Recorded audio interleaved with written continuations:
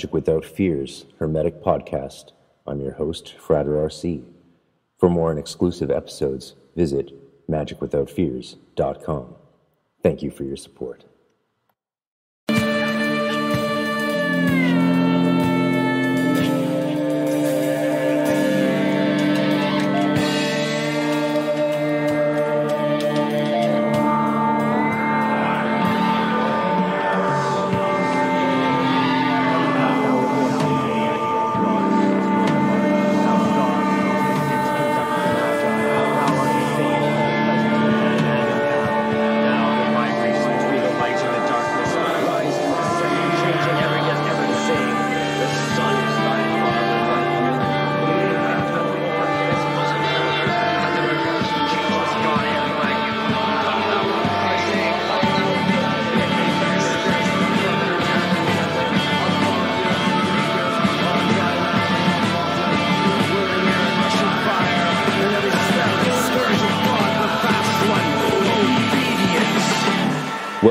Magic Without Fears, Hermetic Podcast. I'm your host, Frater RC. For more and exclusive episodes, visit magicwithoutfears.com. Thank you for your support. Aleister Crowley, Francois Rabelais, and the Herb of Thelema. Aleister Crowley is a well known 19th to 20th century magician. Francois Rabelais was a 16th century monk, bachelor of medicine, uh, um, and uh, um, remembered largely for his well known work of satire, Gargantua and Pantagruel. What could these two in cannabis have in common? Possibly the most intriguing Renaissance figure involved with the history of cannabis was the 16th century monk and alchemist, Bachelor of Medicine, Francois Rabelais, who lived from 1494 to 1553. Rabelais is best known for his hilarious epic adventure, Gargantua and Pantagruel, a bold and bawdy satirical tale of two giants, Gargantua and his son Pantagruel. The book is equal parts philosophy, sex and fart jokes, slapstick humor, along with outright heresy and a generous dash of arcane knowledge. His mockeries of so much that the church deemed holy led eminent critics to regard Rabelais as a papefigue. That's one who gives the finger to the Pope. The 19th century literary critic Alphonse de Lamartine was less kind and saw Rabelais as a poisonous fetid mushroom born in the dunghill of the medieval cloister, the defrocked monk's pig who regaled himself in his dirty sty and loved to spatter his dregs on the face and manner and language of his age. During Rabelais' own lifetime, his books were condemned by the religious academics of the Sorbonne for their unorthodox philosophy and by the Roman Catholic Church for their mockery of their aspects of their faith. Gargantua and Pantagruel is of pertinent interest to this presentation for the book's well known cryptic references to cannabis under the name Pantagruelian, as well as for its philosophical influence it had held on later occultists and cannabis experimenters, particularly Aleister Crowley. Rabelais' Gargantuan Pantagruel contain three chapters with ref- hidden references to cannabis under the name Pantagruelian. Hemp was already utilized in Europe at that time, and Rabelais' own father was a hemp farmer and a winemaker. Hashish was introduced by returning crusaders between the 11th and 13th centuries. Although the precise source and various uses of cannabis during this period are a matter of historical conjecture, the Crusader route may account for Rabelais' familiarity with the various properties of cannabis fictionalized as the plant Pantagruelian. Rabelais, the physician, appears to have recognized the only recently reported analgesic and antibacterial qualities of cannabis. However, Rabelais, the alchemist, recognized much more in this plant. And it is also worth noting that the monumental Rabelais Encyclopedia with good reasoning, refers to the herb pantagruelian as, quote, mood enhancing hashish, cannabis sativa, and the philosopher's stone, end quote. See my own Liber 420, which was dedicated to Rabelais, for a more complete understanding of the role of Rabelais and the identification of Pantagruelian and its connection to alchemy, which cannot be understated, with references to cannabis occurring in the works of the alchemists such as Zosimos, who lived from the 3rd to 4th century, Avicenna, who lived from the, the 9th to 10th century, and Paracelsus, who lived from the uh, 15th to 16th century. Aleister Crowley, who lived from 1875 to 1947, was a British poet, mountain climber, as well as a magician who incorporated cannabis and other drugs into his magical work. mostly for his association with magic, Crowley has continued to rise in popularity decades after his lifetime. To quote his, his student Israel Regardie, some of his finest writing deals with penetrating analyses of ether and hashish as aids to meditation and as chemical devices to catapult the psyche headlong into the mystical experience. He contended, among other things, that if the neophyte could taste the glory of the ineffability of his goals by means of an introductory dose of hashish, he would then be willing to embark upon a lifelong program of self discipline to make the divine intrinsic part of his being. In 1904, Crowley claimed to have received a channeled work, the Book of the Law, from an entity known as Aiwass. The Book of the Law signaled the dawning of a new age, the Aeon of Horus, which followed the preceding aeons of Isis and Osiris, which, by the way, were the names of the first two lodges of the Hermetic Order of the Golden Dawn, which Crowley had formerly been a member of before leaving to form his own group and publishing some of the order's secret teachings in a well known scandal. It has been established that Crowley began his experimentation with drugs under the tutelage of the Golden Dawn magicians Alan Bennett and George Cecil Jones. Other prominent members are known to have written about and used cannabis and other drugs for magic as well, such as Golden Dawn co founder Wynn Westcott and the poet magician William Butler Yeats. Pivotal to the Book of the Law is the term Thelema, which Crowley felt summarized his philosophy and law of Thelema do what thou wilt. However, centuries prior, in Rabelais' Gargantua and Pantagruel, there was an abbey of Thelema, and the motto, do what thou wilt, hung over the entrance of the abbey. To quote Rabelais, do what thou wilt, because men that are free, well born, well bred, and conversant in honest companies have naturally an instinct and spur that prompteth them unto virtuous actions, and withdraws them from vice, which is called honor. Those same men, when by base subjection and constraint they are brought under and kept down, turn aside from that noble disposition by which they formerly were inclined to virtue to shake off and break that bond of servitude wherein they are so tyrannously enslaved. For it is agreeable with the nature of man to long after things forbidden and to desire what is denied to us.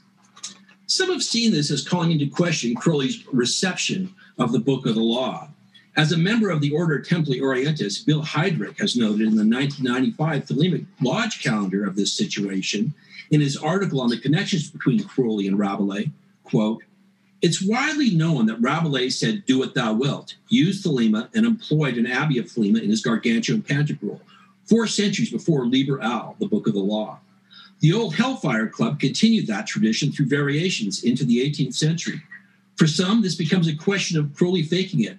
For others, it is more of a matter of observing a gradual development of Thelema through half a millennium preceding the of Horus. In any event, Crowley was equipped to hear the word when Aiwass communicated, end quote.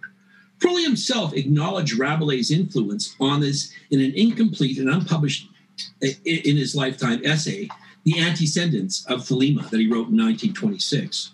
It has been remarked by some critics of the law of Thelema that the words do what thou wilt are not original with the master Therion, or rather with Aiwass, who uttered to the scribe Ankh F. and Khonsu, the priest of the princes, the book of the law. This is true enough. In its own way, we have firstly the words of St. Augustine love and do what thou wilt. This is, however, as the context shows, by no means what is meant by the book of the law. St. Augustine's thesis is that if the heart be full of love, one cannot go wrong. It is, so to say, a rider upon the theorem of St. Paul's 13th chapter of the first epistle to the Corinthians Far more important is the word of Rabelais, fais ce que veux, do what thou wilt. The sublime doctor does indeed intend, so far as he goes, to set forth in essence the law of Thelema, very much as it is understood by the master Therion himself. The implications of the context are significant. Our master makes the foundation of the Abbey of Thelema the quite definite climax in his history of Gargantua, he ascribes his ideal of society, thus was certainly occupied with the idea of a new aeon. And he saw, albeit perhaps dimly, that fais ce que was the required magical formula. Crowley felt that Rabelais' work not only foreshadowed the coming of the Book of the Law, and the dawning of the Aeon of Horus, he believed the Renaissance French author even predicted his own arrival as his prophet. Crowley asked himself if Rabelais was, quote, aware of the prophetic fire of his immortal book, end quote, in predicting his own book of the law, and then answers his own question, quote, he has fortunately left us in no doubt upon this point. He indicates the master Therion by name. The very last verse of his oracle runs thus.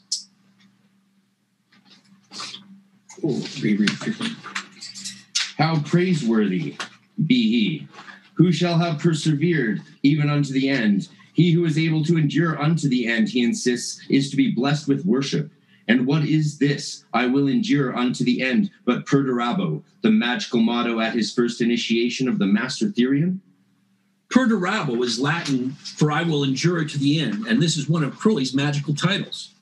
Another way that Rabelais in- influenced Crowley was the use of cannabis.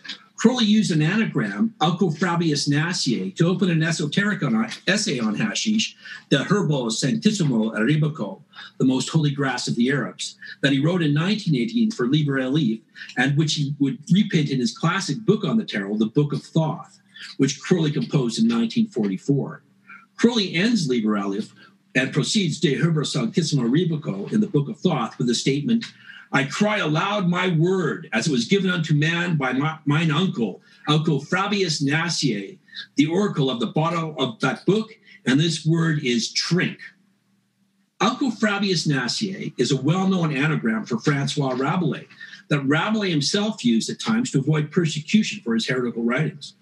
The bottle of that book was the source of the Grail like quest carried in Pantagruel, and trink is what was written on the bottle which served as an oracle for those who drank from it. In Rabelais, in The Secrets of Pantagruel, Henry Probst Biraben compares the language used by the priestess of that book. The noble pontiff of the divine bottle to that of the adepts, and in the invitation trink coming from the divine bottle, she invites indeed Panurge and his companions to partake to the path of divine knowledge, as did all the philosophers and wise men of antiquity the outcome of the symbolic voyages and trial which they accomplish in the unground temple isn't of materialistic wine drinking, but of spiritual wine, which the Sufis talk of. In this regard, it should be noted that the hashish infused wines was a well known combination in the esoteric circles of the Islamic world. Probst Biraben went on to suggest that the secret language used in Rabelais' work indicated a lineage with Christian Hermeticists, the Templars, the operating companions, the Rose Cross, and the spiritual alchemists. Another important word from Rabelais is Pantagruelian. Appearing at the end of the third book is Pantagruelian. It represents the wisdom of the sage Pantagruel and symbolizes the quest for self knowledge. The chapter dedicated to the description of Pantagruel Grulian give the tradition of Renaissance writers an, an encyclopedic sketch of botany and herbal lore. Rabelais carefully develops the external characteristics of the herb through a detailed description of its various parts and size. He tells how and when it should be prepared. He then enumerates the several methods known for naming plants in antiquity. For example, some were named for their discoverer, as mercurial for mercury. Others retain the names of their native regions, and still others designate the power and effects they have. Then turning again to Pantagruelian, Rabelais shows that these ancient methods of naming plants are precedents for giving it the name Pantagruel. The Pantagruelian is a sim- symbolic manifestation of Pantagruel, not in external appearance, but in its intrinsic virtue. It not only has a great medicinal value, but as hemp from which rope is made, it also serves as a means to the navigational discovery of new lands and knowledge, an agent for milling bread, it provides a source of spiritual food. In reference to Pantagruelian's identification with hemp, Arthur Chappell noted in 1924, quote, since a store of hemp was necessary for a long voyage, the meaning is simple and clear. Nevertheless, the close association with Pantagruel, the explanation that all civilized arts were derived from Pantagruelian's miraculous powers, and the striking allusion to burnings seem to foreshadow quite another meaning, one deliberately abstruse and important, end quote. The discussion of Pantagruelian and its manifold uses comes about when Friar John, Panurge, and others joined the giant Pantagruel on an ocean quest. The quest itself was inspired by the fears of Pantagruel's cherished companion, the rogue and clown Panurge, who was gravely concerned that he might be made a cuckold if he marries, and he wishes to seek out an answer from the oracle of the holy bottle that was located in far off India. In the list of provisions for the voyage is a store of both raw and confected pantagruelian, the favorite herb of the said giant. This is all in tune with the Grail myth and Arthur being outlanced by Lancelot. As the Rabelais Encyclopedia, as, as the Rabelais Encyclopedia has noted of this event, As the companions prepare to the sea and visit the oracle of the holy bottle, Pantagruel takes on board a large supply of a mysterious product called Pantagruelian, which the narrator describes as a textile plant with numerous manufactured applications clothes, rope, sails, etc. At the same time, Pantagruelian takes on many other forms, including mood enhancing hashish, cannabis sativa, and the philosopher's stone. More enigmatically, its many virtues are supposed to bring humans together and make them conquer the universe. In Rabelais' Pantagruelian and Utopia, written in 2009 by Stuart Pelto, he noted this event also makes the philosophy of the Abbey of Thelema nomadic, creating a sort of traveling, temporary, autonomous zone through which the message, of Thelema can spread. Rabelais weaves an illicit thread of intoxication through the fabric of his praise for its industrial applications, even as he plainly raises his appreciation for canvas sails to a utopian level. Rabelais discreetly instructs his fellow citizens in the science of cannabis, its botanical identification, how to ignite the flowers, a likely side effect, and above all, the wine like nature of the intoxication. He surreptitiously spreads his message of cannabis intoxication through the art of steganography, extending the intoxicating utopia of Thelem to all those who will take a cannabis intoxication trip of the Thalamege. Stuart Pelto makes an important point in noting that the same, the name of the lead ship of the fleet, Thalamege, is a development of the term Thelema. And through this, Rabelais transforms his vision of human happiness from a wine based abbey into a cannabis based fleet of ships. Further, the celebration of intoxication associated with the Abbey of Thelema is indicated by each sail of the fleet of ships being emblazoned with the image of some sort of drinking vessel. Quote, all the ships that set sail are decorated with symbols of a drunkenness in the form of a heraldic device a bottle, a goblet, a pitcher, amphora, a wooden jug, a glass, a cup, a vase, a wine basket, and a wine barrel. Rabelais describes each ship's device in detail, end quote. As Stuart Pelto has noted, these, quote, heraldic devices are placed onto the sails of cannabis. The ships of cannabis are designed to expand the wine inspired message of the Abbey to a global scale, end quote. Thus, with the Abbey of Thelema now rendered mobile, Rabelais is free to extend his model of peaceful intoxication. Further indicating the use of Pantagruelian above and beyond the industrial and even medicinal qualities of cannabis, Rabelais has Pantagruel, the giant of his tale, who shared his name with the said herb, load confected Pantagruelian among with the dried green herbage for a voyage. Amongst other things, it was observed how he caused to be fraught and loaded with an herb of his called Pantagruelian, not only of the green and raw sort of it, but of the confected also, and of that which was notably well befitted for present use after the fashion of conserves. As one 19th century author noted, this, quote, Pantagruelian herb so greenish and crude that when confected and prepared was to be none other than hashish, end quote. Rabelais refers to confected Pantagruelian, that is, it is quote, befitted for present use after the fashion of conserves, end quote. Conserves are made with dried fruit and nuts and are cooked. They have a very thick and chunky textures, and conserves made with Pantagruelian, of course, bring to mind aforementioned medieval and mid eastern delicacies like dawamesk, the Islamic confection made with hashish, honey, and pistachios, and the Moroccan majoun, made with honey, ginger, nuts, raisins, and other spices, as well as Turkish delight, which was often prepared with hashish. Ingesting cannabis in such preparations was the normal means of using it, as the influence of the pipe smoking via tobacco had not taken hold as a means of cannabis ingestion yet. Considering the influx of Islamic literature and products of the time, it seems likely there was an awareness of such preparations among the more occult minded of Europe. Stuart Pelto suggests Rabelais would have been familiar with confected forms of hashish through its mention in the popular medieval manuscript attributed to Al Hassan al Wazan. a Muslim figure who was captured by a Christian pirate and given as a gift to Pope Leo X. Prior to both Rabelais and the account of Al Wazan, there were other Arabic influence references that have been widely recognized as identifying hashish in European literature, such as the Decameron, written in 1353.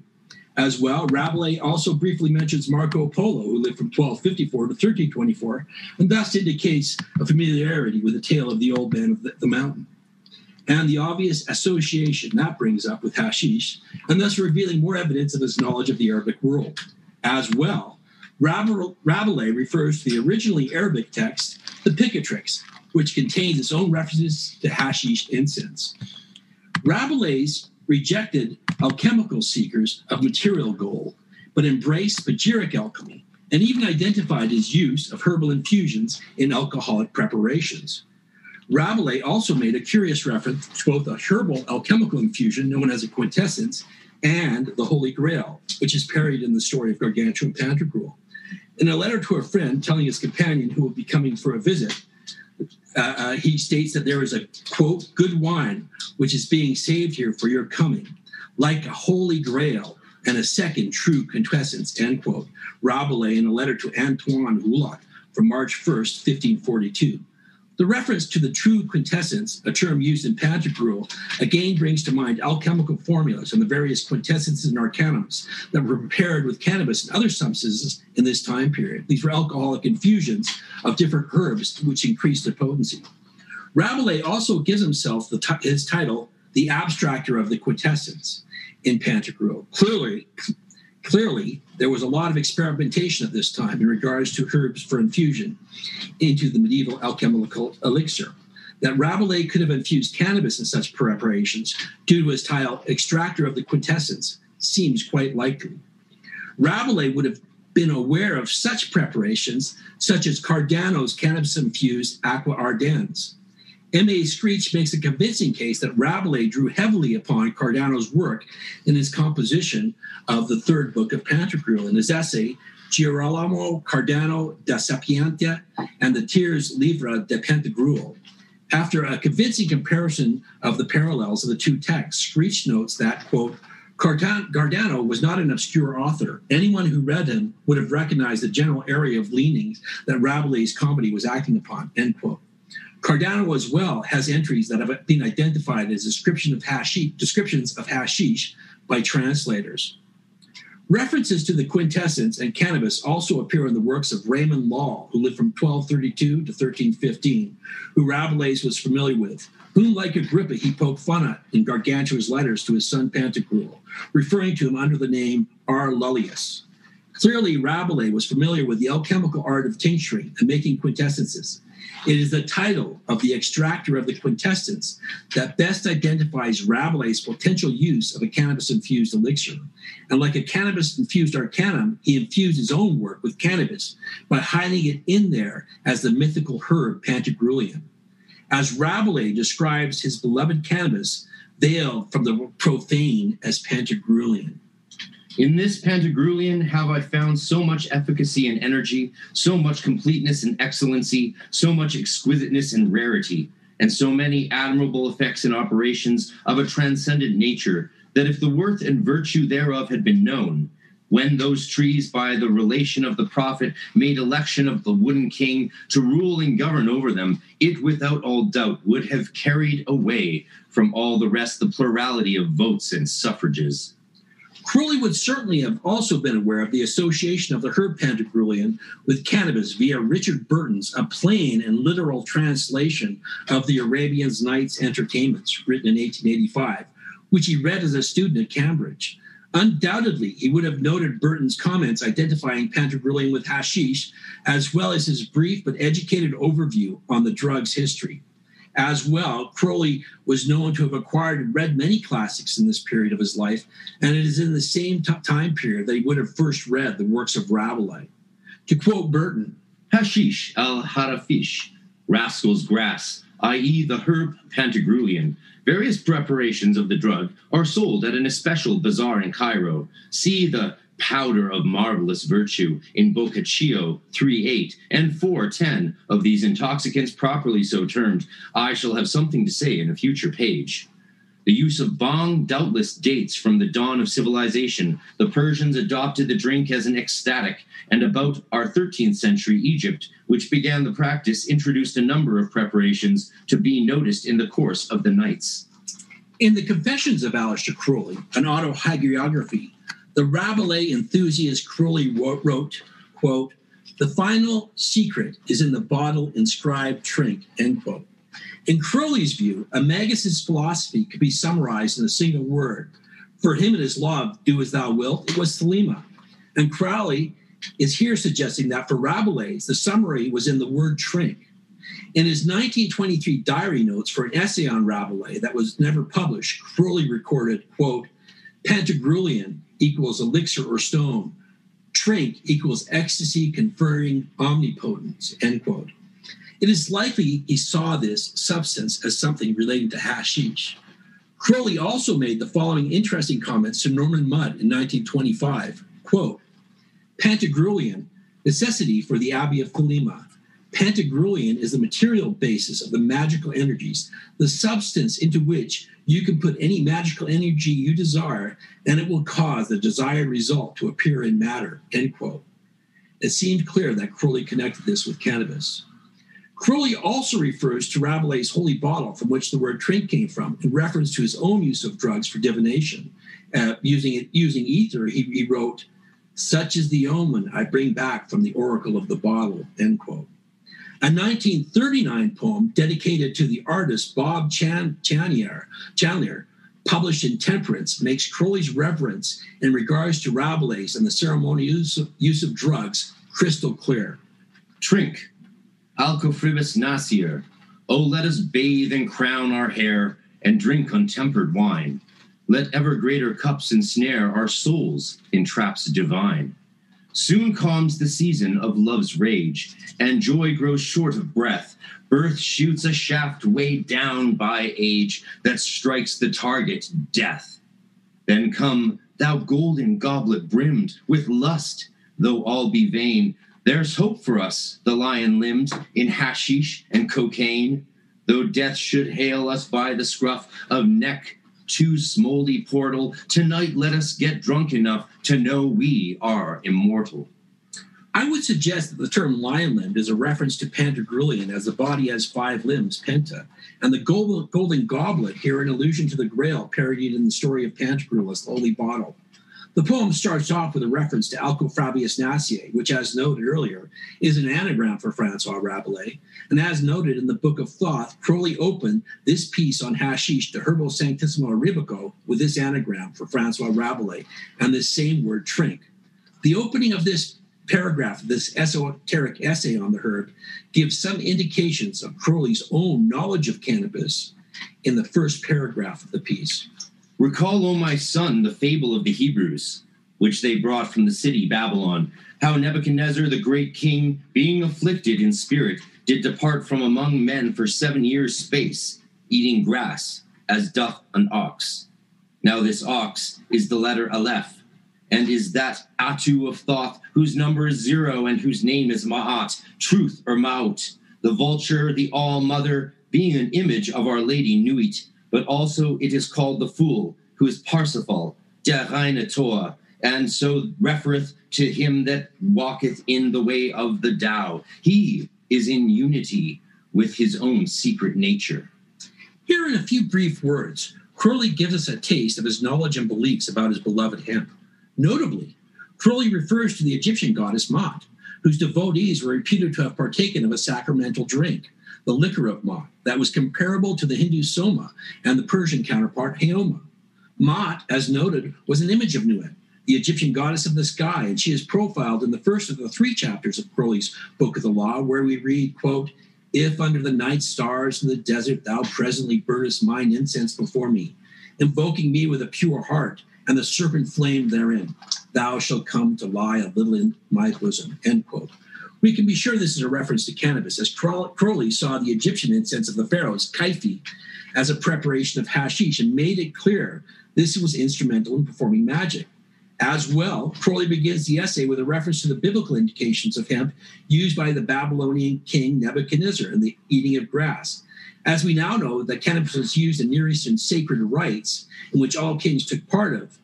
And more recently, archaeological investigations have confirmed the use of cannabis in an 8th century BC Jerusalem temple, just out of Arad, Jerusalem. Uh, in the spring here, we read about uh, um, cannabis incenses burned in a temple in Arad to invoke the Holy Spirit of God. This is a very powerful information and something I myself have been uh, suggesting for 25 years based on etymological research.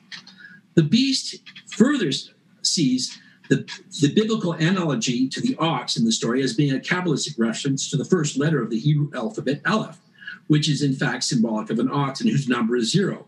A number Crowley recreated with a fool card. And it's under this card's designation that the Herbo Sanctis, Sanctissimo Arabico appears under in the Book of Thoth. In some Masonic lodges, this card is given to the new initiate starting on the path. Crowley further relates that cannabis initiates a Parsifal, the hero, who restores the Grail, a story which Pantagruel and the quest for the Holy Bottle directly parodies, which also plays an important symbolic role for the OTO, as can be seen to the references of the story in the Gnostic Mass, an influence largely attributed to Wagner's opera Parsifal, which, according to one of the most well known uh, Wagner uh, biographers, was created under the inspiration of an Indian hemp extract given to Wagner by Schopenhauer. And I've got an article on that. If you search Wagner, hashish, and the OTO, uh, you'll find that article. In this regard, it's important to remember that Theodore Reuss, who founded the OTO, was a performer in Parsifal and had known Wagner since his youth. Besides the references in regards to the holy bottle, Rabelais used the term trink again, or rather the related French word trink, which is used as a toast in the discourse of the drinkers. And the passage really does seem to emphasize the lineage of certain esoteric groups and again throws light on Rabelais' own use of this term. It's been more than a year since the pandemic turned healthcare upside down. I'm Jody Lesh. Join me for Ahead in Health, where we explore the questions that matter most about the future of healthcare. Listen to Ahead in Health wherever you get your podcasts. A beautiful lawn is a beautiful thing, but it can be a lot of hard work. This Memorial Day weekend, check out John Deere at Lowe's. Choose a John Deere zero turn mower and you can cover a lot of ground fast and get around trees with ease. Or if you've got more on your to do list, check out a John Deere lawn tractor. Add separate attachments so you can mulch, haul, bag, plow, and more. Shop in store or at Lowe's.com. Lowe's, home to the best part of summer. U.S. only. And now, a word from our sponsors. While we cannot control whether any ads get put in the spots allocated, we thank you for listening to those that do since they help keep this project alive. You can also get ad free content and bonus content and videos and a private webpage by subscribing exclusively to magicwithoutfears.com for only a couple dollars a week, or $6 a month, or 50 for the year. It helps a lot. Plus, you get emails about other exclusive things. Thank you very much. I drink no more than a sponge. I drink like a Templar knight. And I, tanquam sponsus, bridegroom, and I, sicut terra sine aqua, like a land without water, pour out all in the name of Lucifer. Fill here you, and fill and fill, peace gods on you, till it be full. My tongue peels. L'en trink, to thee, countryman, I drink to thee, good fellow, comrade, to thee, lusty, lively, halala, that was drunk to some purpose and bravely gulped over. O lacrima Christi, it is of the best grape, the faith, pure Greek, Greek. Oh, the fine white wine. Upon my conscience, it is a kind of taffetas wine. Hin hin. It is of one ear, well wrought, and of good wool. Courage, comrade, up thy heart, Billy. We will not be bested out at this bout, for I have got one trick, ex hoc in hoc. There is no enchantment nor charm here. Every one of you hath seen it. My apprenticeship is out. I am a free man at this trade. I am prester mast, prestre mace, meister passe, prish brum, I should say master past. Oh, the drinkers, those that are a dry. Oh, poor thirsty souls. Good page, my friend. Fill me here some, and crown the wine, I pray thee, like a cardinal, natura abhorrat vacuum. Would you say that I could fly? This drink, this is after the fashion of Switzerland. Clear off, neat, supernaculum. Come, therefore, blades, to this divine liquor and celestial juice. Swill it over heartily and spare not. It is a decoction of nectar and ambrosia. In this revealing passage, Rabelais makes a direct reference to the Templar Knights, and the idea that this order was somehow a group of drunkards does not seem to fit with what we know about them historically. However, it is intriguing to, in relation to what we have seen about infused wines and claims that the Templars had an infused preparation known as the Elixir of Jerusalem, a title for a cannabis infusion that would fit the sort of divine liquor and celestial juice Rabelais referred to. Now, I looked extensively to find, you know, this, this these references to the elixir of Jerusalem appear in numbers of books, uh, um, mostly books on aloe. And the, the recipe was an infusion of hemp aloe into a palm wine. And I, I found these references all over, uh, uh but only up to about 1990. So I can't guarantee there was an elixir of Jerusalem. However, when I went back to documents from the Templars' time periods and records from their arrest, I found that cannabis appeared on a list of seized items from two of the church's raids and arrests of the Templars, and the Templars had Saracens growing cannabis for them under contract in Spain. So they're clearly using it, they clearly had large amounts of it in both France and England uh, when they were raided. In Crowley's 1923 diary notes, he records, quote, Pantagruelion, elixir of stone, trink, ecstasy conferring omnipotence. Like his own philosophy is do thou as thou wilt, could be summed up with the word thelema. Crowley is expressing that Rabelais' Secrets of Pantagruelion could be summed up in the term trink. The final secret is in the bottle inscribed trink, as Crowley wrote. In correspondence with a 32nd degree Masonic brother, P.D. Newman, author of Alchemically Stoned, who has also written about psychoactive elixirs and Masonic related rites, I asked him about Rabelais' statement My apprenticeship is out. I am a free man at this trade. I am a prester mass, prester mace, maester pass, frisch broom, I should say master pass. Newman responded, quote, as indicated in Samuel Prichard's Masonry Dissected, 1730, entered apprentice is the term which one was was once used by the fraternity to designate the first degree of Freemasonry, entered apprentice. Past master, on the other hand, describes one who has in the past acted in the capacity of a master of a large or worshipful master, end quote. The reference to free man here as well may refer to Rabelais as a non working Mason in a working Masonic, Masonic lodge, as up until the 17th century, when Masonry made the transition from operative to speculative, non Masonry's workers were not allowed into the order. We know that cannabis infused wines were known in French Masonic circles by this time through the 13th century Masonic lodge book of Villard de Honnecourt who, like the Templars, spent time in the Holy Land. And he returned with a book full, not only of new insights into the building arts of Masonry, but with a full page recipe uh, for cannabis infused wines. Besides discussing the cannabis reference, Liber 420 takes a deep look at the many Masonic associations that have been claimed for Rabelais' work. Clearly, Rabelais played a major role in Crowley's occult philosophy. In Liber 15, the Gnostic Mass, written in 1915, Rabelais is depicted as a saint, and in the Beast classic, Magick and Theory and Practice, uh, written in 1913, he wrote, he wrote, quote, the works of Francois Rabelais, invaluable for wisdom, end quote. As with his chosen word, thelema, and its law, do as thou wilt, clearly, Crowley saw cannabis as a continuation of the practices and philosophies of the 16th century monk Francois Rabelais. Moreover, as I've discussed in Liber 420, both knowledge of Rabelais in this context and the use of psychoactive sacraments by certain Masonic related groups preceded Crowley himself. Moreover, there is evidence that this had been in practice for some centuries, dating back to Rabelais and further. That cannabis was used as an initiatory substance in such context by Crowley is clear, as Crowley ended the Herbal Sanctissimo Rebeco with a comment that, quote, a man must first be an initiate and established in our law before he may use this method, end quote. Comments indicating he knew more than he was letting on in writing about it. And this is echoed from his 1909 essay, Psychology of Hashish, quote, In order to keep the paper within limits, he wrote, it would be necessary to keep the article to a scientific nature and use information that was already quite available to the public at large, lest the austerity of such a goddess be profaned by the least vestige of an adornment. End quote. Crowley is likely here referring to codes of initiation, one of the occult organizations to which he belonged. And this again is also apparent by the veiled nature of his text, De Herbo Sanctissima Arabico. As well, this comment indicates Crowley's belief stated earlier that drugs alone will not enable the devotee to reach the mystical goal, but it also takes vigorous psychological preparation and study are needed.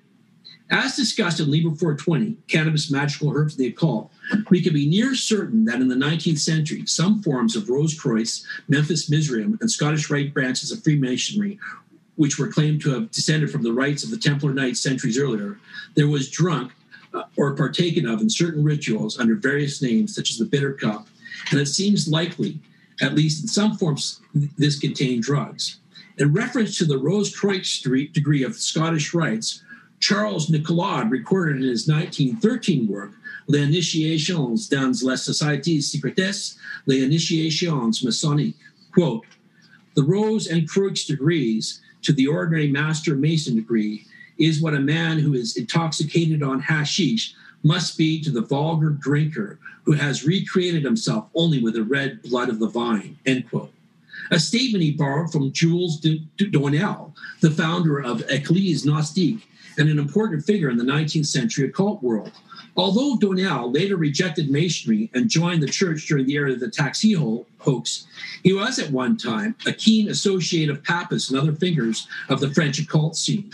In regards to the hashish he identifies an association with Rose Croix degrees, he himself wrote, One feels proud and triumphant to be Knight of the Rosicrucian. A kind of unexpected prestige surrounds the new title.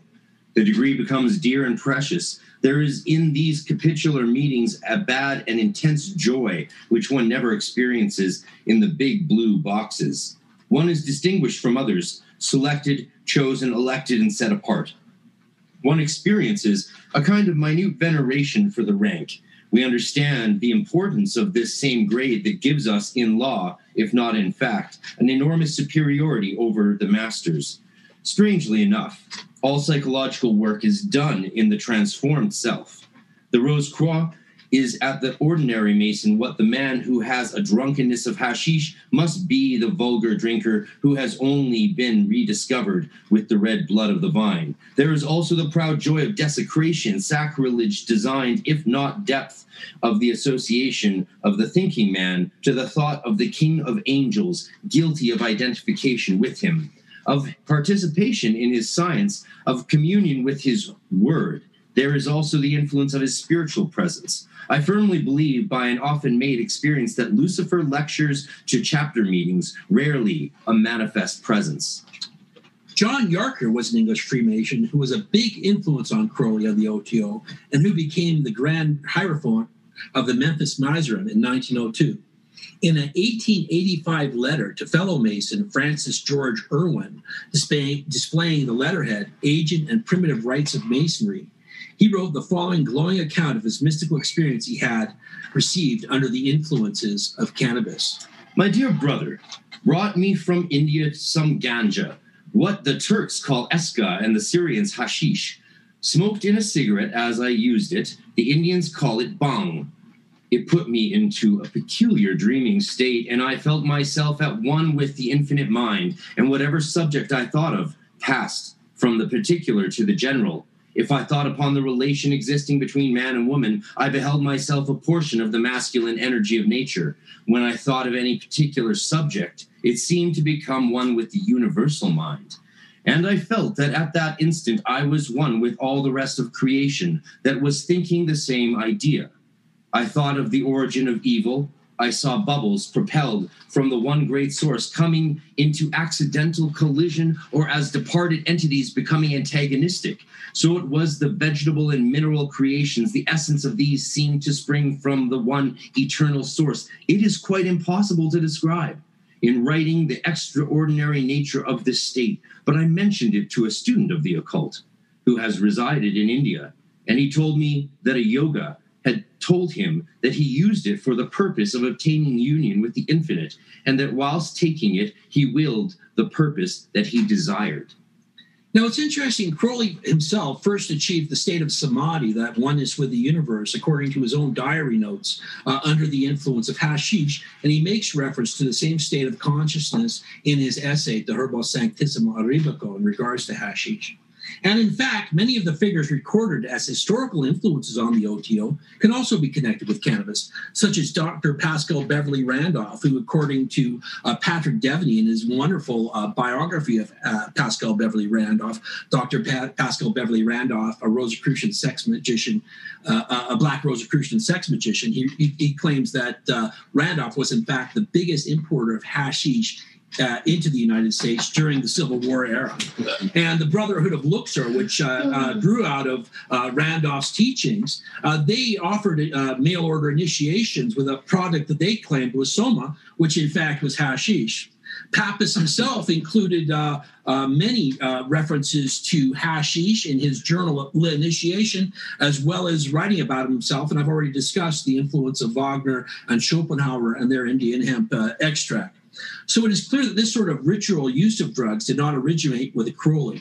The French occult scene was particularly infused with hashish. And as noted in Liber 420, at least 12 editions of the Martinist Masonic Journal, the initiation of which the Papus was the director of, as just mentioned, contained articles on the use of hashish. And this included refer- references to Rabelais and Pantagruelion in this context. Moreover, in chapter 15 of Energized Enthusiasm, Crowley describes such initiatory use as does the, does the secret rituals of the OTO in relation to the Masonic bitter cup. So it is clear that there were entheogenic initiations in place, and indications are there, there had been such for centuries prior, if one looks deep enough into the matter. The terms Thelema and do as thou wilt in the book of the law may even be indications that Pantagruelion was at play in the ecstasy of Trink when Crowley composed it, and, and in which would be fitting, as Crowley himself claimed, Alcofribas Nasier had predicted both book and prophet. As the book of the law itself records, quote, I am the snake that giveth knowledge and delight and bright glory, and stir the hearts of men with drunkenness. To worship me take wine and strange drugs, whereof I will tell my prophet, and be drunk thereof. The idea that such divine intoxication may have inspired the book of the law cannot go without question.